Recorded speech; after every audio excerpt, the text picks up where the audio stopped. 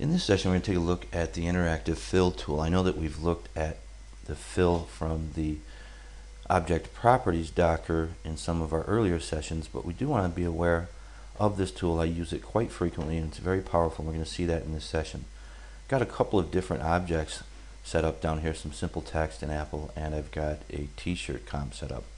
We want to take a look at some of the functionality that we have available through this tool, and then we'll be able to see where and how we can apply it, and we might where and how we might want to use this tool. We've got a basic Apple set up here, and we're going to apply interactive fill to that. And you'll find that tool all the way down here at the bottom of the toolbar. Go ahead and click on that. I'll come here to my Apple, left click, hold down, and drag, and then release.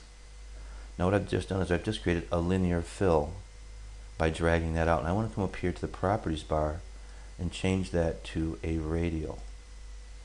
And now you can see what we've got is we've got two color chips with a sliding bar in the middle. I'm going to bring this highlight up here to the corner and then I'm going to go ahead and slide this midpoint and change where that is. And that's the midpoint for that fountain fill.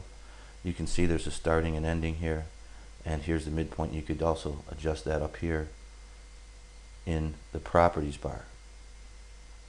Now if I want to do some additional tweaking to this, I could go to, let's say, my CMYK color palette. We'll bring that up here.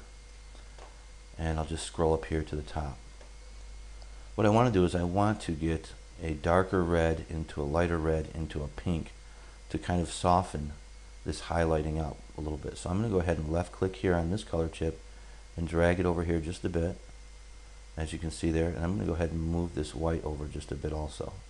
Next thing I'm going to do is just to demonstrate this I'm going to click off and click on and what I'm going to do is come over here to the red left click hold down and release. Now I've got some different reds here. Now I can take this red here which is a little bit darker left click hold down keep holding and drag that over and release that in the red and that'll change that red tip or I could have just selected that red which is now selected and then gone and clicked on the color I'm going to take the regular red here left click hold down and bring that right about here and you'll see what happens is, is that when I drop this I'm going to lose my midpoint. And my properties bar is also going to change.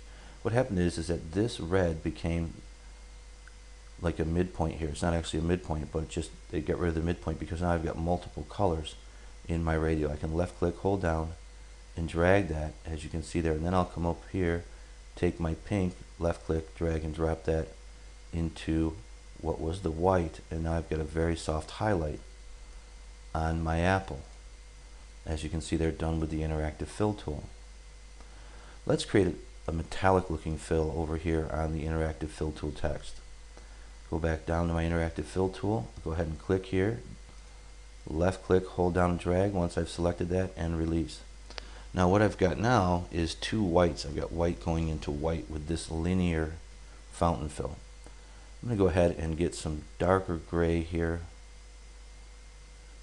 And we'll go ahead and drop that there. Same thing here. Left click and drop. And then I'm going to come down through here and just get different colors of gray and drop those in here. And just release them along the line kind of randomly or sporadically. And I'll go with some of the darker here and some more of the darker here.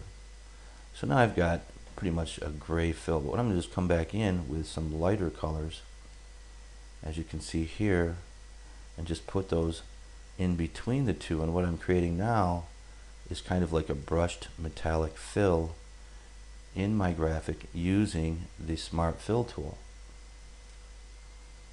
and this allows me to get a very good preview and work interactively with my art. If we click off, we can see that. Now if we want to change that, let's say we want to rotate a little bit, we can left click on the end, color chip here, same thing here, bring that out and stretch it out. You can see we start to get more effect.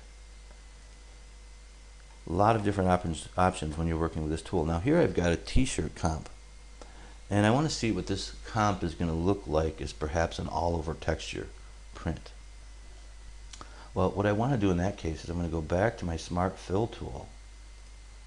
And I'm going to go ahead, actually what I'm going to do is make sure I got the right object selected first. You can see we've got some shading on top of a vector object.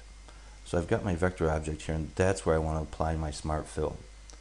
Come down here to the smart fill tool. I'll come up here to a full color pattern. And you can see that that was applied to the design. Now with that pattern applied, I can left click up here on these handles and move and change the size of that seamless pattern in my t-shirt. Let's take a look at a full color, well we'll go to the, not a full color, but a bitmap pattern fill. And we'll go with, let's say, a metallic look here. And you can see how that worked. And I'm going to go ahead and move this. Now from the center point of these handles, you can left click, hold down, and move the way in which the seamless tile is applied to the graphic or where it's applied. Left click, hold down, and rotate this. And I can really get very good control over this fill. Now I'm going to go ahead and select my shading and hold down shift and select my fill. I'll hit C and E. That'll center those and then I'll have a really good idea of what that's going to look like with a metallic texture fill in it. And I've got very good control, I'll hold down Alt, over how that seamless fill is applied to my graphic. If I want to see how it looked bigger, left click on that circle and hold that. I could also skew that, as you can see here. So it gives us very interactive control over how our fills are applied to our graphics working with the interactive fill tool in CorelDRAW X6. We'll go ahead and wrap here and we'll continue in our next session.